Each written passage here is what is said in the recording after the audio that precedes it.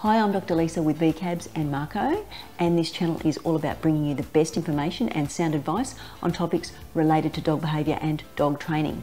Now, this video is part of our five minute technique series, and I'll be showing you how to train your dog to uh, perform a sit on request, and I'll be sharing my five best strategies on how to maximise your training success for this exercise.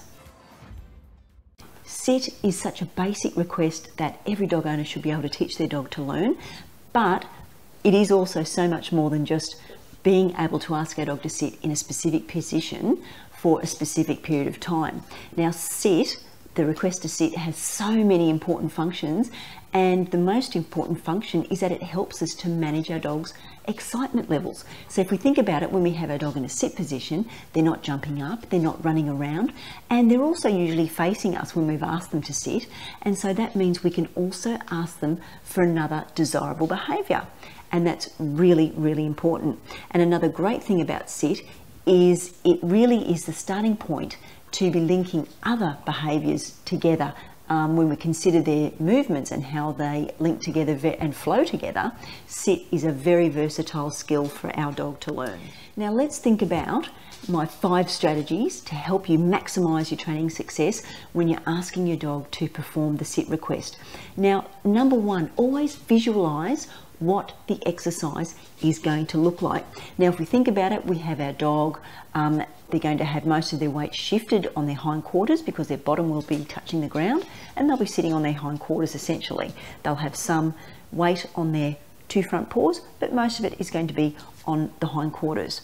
Now, after we're thinking about how it looks, the position looks from our dog's point of view, let's also look at the second very important strategy before we start training, and that is to take precautions before we're asking our dog to perform that request or train that request. Now, it's not very nice to be asked to sit on hot bitumen or cold concrete, so make sure you have a nice comfortable surface for your dog to sit on when you're training this exercise. That's the main precaution. What is the obvious starting point from our dog's perspective? Well, from a standing position is the easiest, and this leads on to where we should be positioned. We want to be in front of our dog so they can clearly see the hand gesture we will be using. We want our dog to be moving their head to look up at the food reward, which will tilt their hindquarters and their bottom towards the ground. So, what's the action that we'll be performing? We'll be holding the food reward just in front of our dog's nose and we'll be drawing our arm back over the top of their head and as they look up, this tilts their bottom towards the ground.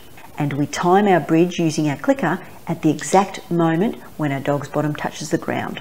Now, after a few repetitions, try without the food reward in your hand and just perform the hand gesture.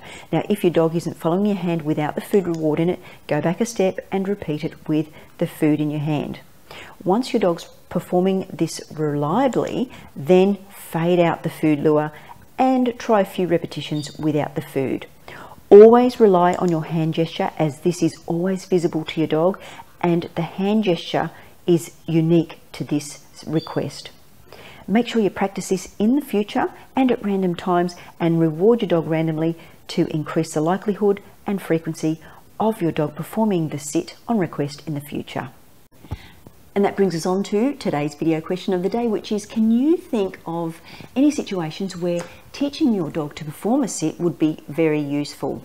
I'd love to know your thoughts and your feedback on that question, so let us know in the comment section below. Well, that brings us to the end of this video, and if you like the video, please give it a thumbs up. And if you're new to the channel, please consider subscribing for more videos like this.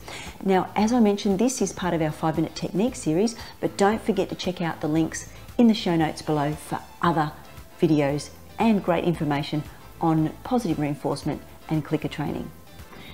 Well, once again, I'm Dr. Lisa with VCABS, and from Marco and me, remember, stay positive. Thanks for watching.